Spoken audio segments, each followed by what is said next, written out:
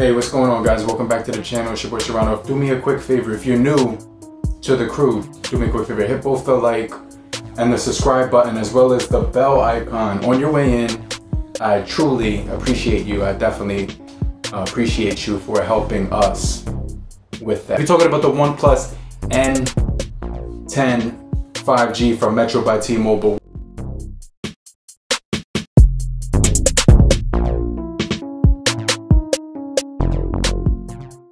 We're gonna be talking about this device. We're gonna be talking about software updates, battery life. We're also gonna be talking about new features, right? Because this device does have Android 11 on here.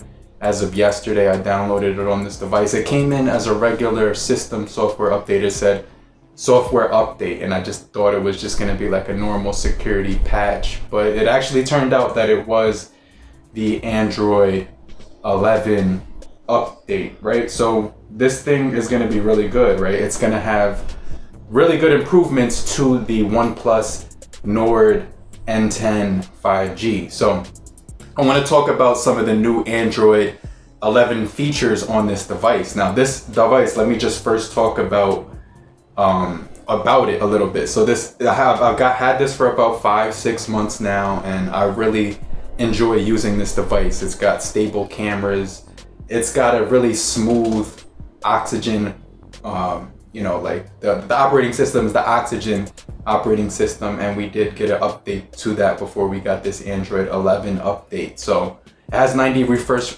hertz refresh rate when it comes to the device and you also can change the icons in the icon pack hydrogen or oxygen but there's there's many different things that you could do to tailor this device to your own personal preference, but Android 11 helps with that. Customization, optimization, performance enhancements.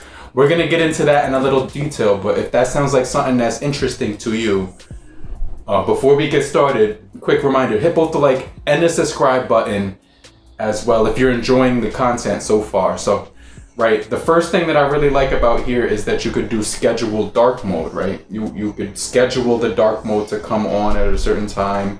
It could, automatically come on during sunset, or you could just turn it off and on manually. So I think that's pretty cool that they do also have that option. They do also have customization to the ambient display, right? So you could lift up the display and depending on what you want to be on that display, you could tailor the look of it you could go to customization inside of here. You could also customize the icons, the font, the system icons, the default color, the accents. But they have this lock screen ambient display where you can change this new option right here called Horizon Light, right? So they've added that. So whenever you get a notification, the sides of your display will light up and you will be able to see that on your phone when you receive a new notification at any time, maybe a text message, phone call, um, you know, something from Facebook, something from Twitter, something from Instagram, things of that nature. We also do have that newly designed chat bubbles when they come in as notifications on this device. It's gonna look pretty cool because you know, like the Facebook Messenger, how it had that bubble that you could move around. You kind of just play around with it on the screen. You could close it, minimize it, open it back up. It's very cool because you could see all the notifications that are coming in individually, respond to them individually, right? And it, it'll add less clutter. It's also gonna add a better um, optimization. What like it's gonna be more smooth and the interface is gonna look a lot better, right? So it's gonna be more improved interface with the animations when you're getting notifications and you could also tailor uh, you know you know like how, how frequently what apps you want to have notifications come in when they're going to come in. You, you can minimize the different types of app, app um, notifications that you do want to come on this device. So i think that's pretty cool. But the, the, the one of the main things that really changed about this device is the haptics. The overall haptics engine changed on this device. And you're going to feel that not only with the fingerprint sensor, when you hit that, you're gonna feel the vibration of the whole phone now. When it clicks, you're gonna feel the vibration of that phone and you're gonna feel it. You're also gonna feel it when you go back or when you go home. Well, if you if you hit the most recent apps menu as well, you'll feel the vibration. So everything that you're doing now on this device, it'll get a little haptic engine, um, it'll vibrate to let you know that you've entered a new place on the screen. So it's very intuitive. It flows really nicely. It feels really good. That vibration does have a nice feeling when I'm clicking it. And the keyboard, right? The keyboard has a, a good vibration to it. One, a really good vibration to it. It's almost, almost too aggressive, right? One plus, Nord, and you. I'm, I'm pretty sure you could customize this and make it less. Uh, less less uh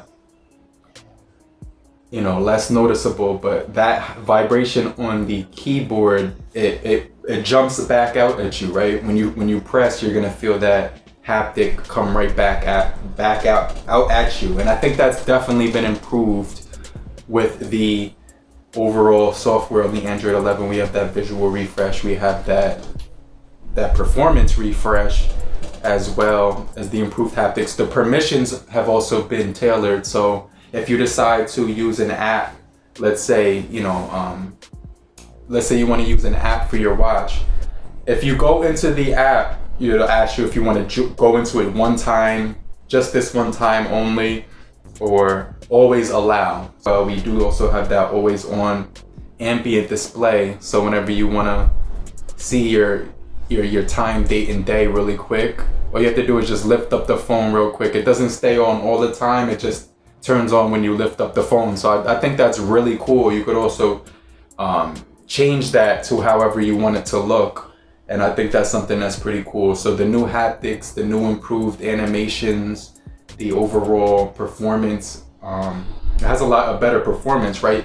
Less memory will be used in the background, meaning that the phone now with Oxygen 10.5, it, it does better with everything, optimization, memory allocation, um, you know, including the overall smoothness and motion animations on the phone are definitely going to be noticeable. So the dark mode, you can you could you could time that. Like I said before, you could also customize the the wallpapers on this device um, really well. So, and the buttons and the text and the fonts and the accent colors, like I said before. But you're also gonna have new improved media controls and meet devices, meaning that things that are set up in your house that are paired to your device with the smart option, you're gonna find them all in one place and it's gonna be really easy to get to from your navigation when you swipe that down. You'll also see your media controls inside of there as well. So the the control center has a nice flow to it. Also, the settings menu when you're using it, you're gonna see that it's kind of down here, like at the bottom. Meaning, when you're holding the phone, you're gonna notice that everything has been dropped down to make it a lot easier for you to swipe and for you to get to certain buttons. So in that settings menu, everything is gonna kind of look like the One UI software a little bit, or the LG software, how they just dropped everything down for you to be able to toggle a lot easier with the one-handed operation on here. So I definitely like that as well. So what's really cool is that in the gallery, they did up to update the gallery app. It's almost like a magazine experience now when you're scrolling through your your photos, right? It's almost like a magazine experience is what they say. It's gonna be really smooth, really optimized. You also do, they also make you like different stories after a certain time and period with dates attached to it so you can go back to your most recent history and memories and things like that. So they, they do also offer a hidden collection so you could obviously store photos in there and hide them. I'm not sure why you would want to do that, but they do have that on here. There's another feature on here called Zen Mode. And um, I think that's pretty cool because if you hit that though, you're not going to be able to exit it. But I just want to let you know you you do have Zen mode, which will not allow you to get notifications, phone calls, or things like that. You could only use the camera, and you could only uh, do phone calls. I think you can't. Well, you no, I don't think you could take phone calls at all. You could use the camera while it's in Zen mode, and then maybe emergency phone calls. That's pretty much it. But you can't do anything outside of that. So I, I timed it for 40 mi minutes and I was like, let me get out of here. And then I then I realized that there was no way out of it. You have to actually go through that full 40 minutes, which is pretty cool because they force you. They actually really do force you to stay off your phone. There's no way out of that Zen mode once you have pressed it to go on. So the visual improvement, the visual refresh, the battery optimization. They're gonna have optimization for the battery now.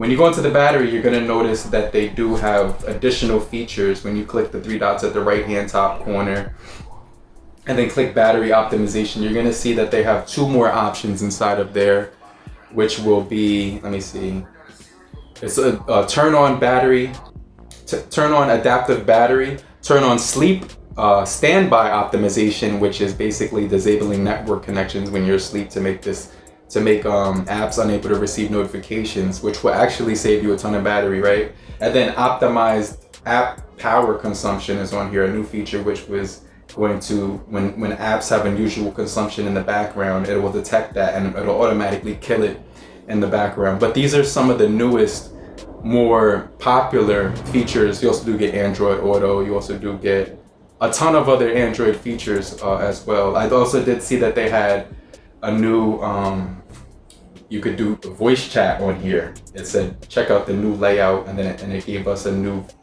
it gave us like a layout of the dialer and it said we could do voice chat on here, which is pretty crazy. And another thing that was pretty cool was that inside of here we do get visual voicemail, so you could turn that on as well um, as well. In addition to that, we also do get screen recording, NFC on this device, nearby share, OTG for uh, moving files from device to device. Wi-Fi calling is an important feature that we do have one here, as well as hotspot, screencast, and other options to help your eyes visual comfort and reading mode. So this device pretty much has all the bells and whistles. You could also change the the camera to 4K 60 or 4K uh, 4K 30 and 1080 60, 1080 30.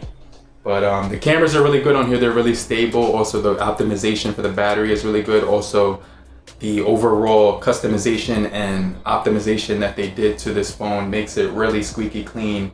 No really, no real lag visually on this device. That 90 hertz display looks absolutely gorgeous. And um, they have that OnePlus community that you can join. You can receive discounts with that as well. But um, they, they, I just really enjoy using this device from Metro by T-Mobile, the the OnePlus N10 5G, the Nord. But I'm gonna get right back with you. I'm gonna show up in the comment section to answer all of your questions. I'm also gonna be uh, see you real quick on the next video, so make sure you stay locked in with me. But if you're new to the crew, do me a quick favor on your way out. Hit both the like button, subscribe, and get notified, and also hit the bell icon. And I'm gonna get right back with you later, later crew. Peace.